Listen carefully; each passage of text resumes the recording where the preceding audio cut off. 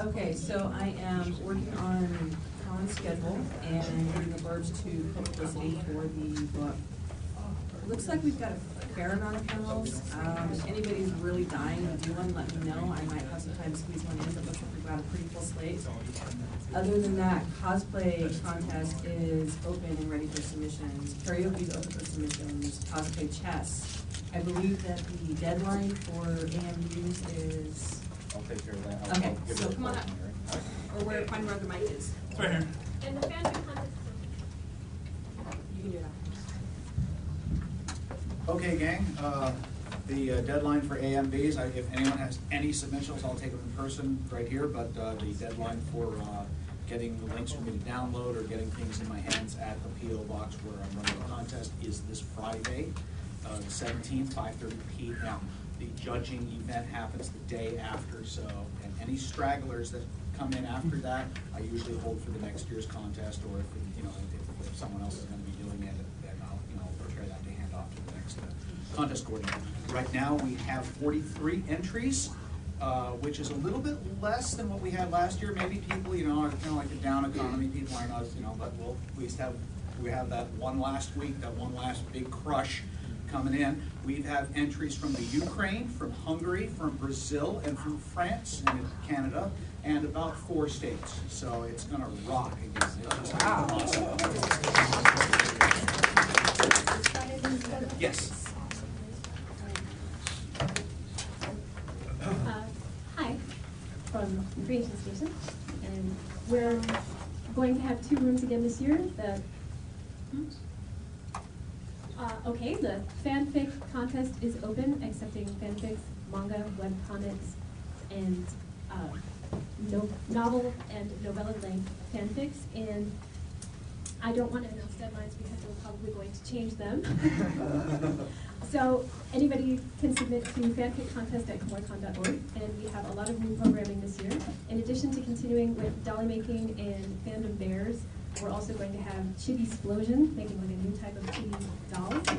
Um, we're going to have a workshop on how to give and accept critiques of fan creations graciously. We're gonna have a workshop on transitioning to writing novels from epic fanfics. And we're gonna have our rooms open until four AM this year, expanding our adult programming, so some of our favorite improv theater games, we have adult how to draw art contests and it's much expanded adult programming at Creation Studios.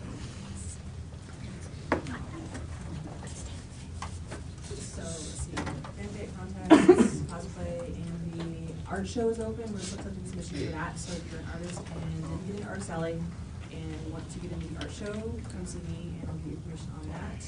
And I think that's it. Oh wait, tabletop, sorry, I forgot about gaming. Um, So, I can uh, use the mic in my voice, whichever.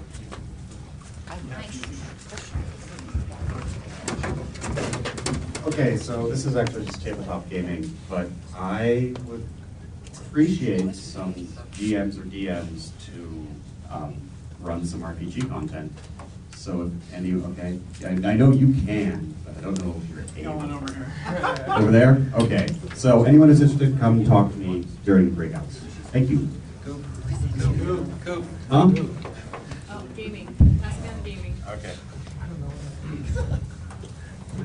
Hello, I'm TJ, I'm the assistant uh, manager, and uh, basically, we have all the staff we need at this point, but uh, we're still taking ideas for tournaments and stuff, so uh, feel free to put in if you have, I think there's some uh, support for uh, a game on the major consoles like Xbox 360, PS3, Wii, or even PS2, some legacy consoles, just uh, make a post on the forum. Besides that, the though, everything's pretty good. Are we gonna have LAN? Uh, actually, yeah, no, we do have LAN this year. We're gonna be doing uh, Dota and we're gonna be doing Star Classic StarCraft. So, um, yeah, we're working on getting computers together right now, but it looks like it's gonna be pretty fun. Um, I'll update more on the forum once we know more about it. PS2 isn't legacy. Yeah, it is. It is now. Just now. It's all over. PS Classic. Are you making the claim that PS2 is now considered? Guys, go someplace. All right, so currently we're sitting at twelve hundred registered attendees. We've got one thousand thirty-three badges mailed out, fifteen VIP badges registered. Um, we're still looking for reg staff to help out with that call. Um, if you're interested in that, please give me a breakouts. We've also got, uh, a pretty decent need for your gymbos right now. We've got twelve registered, including the managers. We've got a few more, uh, around thirty-eight that are tentatively signed up. Um, and if you're interested in that also, please, please come see me during breakouts. Um, We do have a new volunteer coordinator now, it's uh, Jeremiah right here. Uh, And we're still looking for a business manager, so if you're interested in that position also, yeah. Uh, And then one last thing is staff badges. We're gonna be making a forum post later today with all the guidelines for those. Um, Badge numbers will be first come, first served, and uh, we'll have all the criteria needed up there. Three, number three. Oh. Uh, let's see what we do. Uh, Thank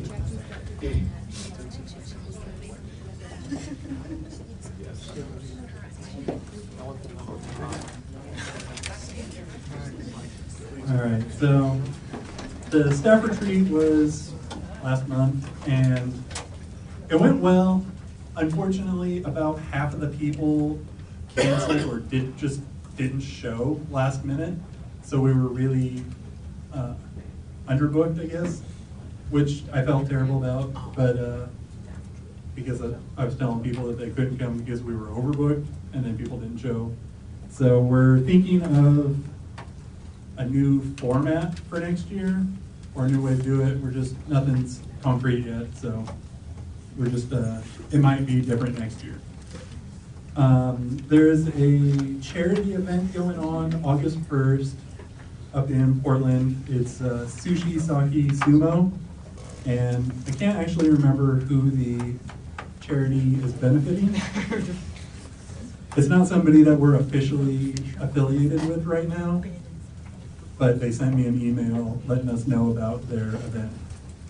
Uh, it's seventy-five dollars, which is a little pricey for, for most everybody, but it is a charity and hopefully a high percentage of their money turned in goes directly to charity.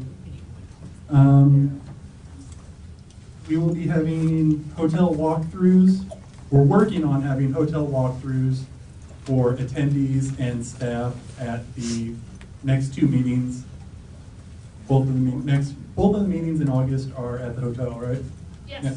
So after, after reports and our way through breakouts, we'll have, the plan is to have David and a hotel person have a guided walkthrough showing people the rooms and the, how to get around in the hotel. And we have badge holders for attendees, and they are awesome. There's one up here if you want to come up and look at it later. Um,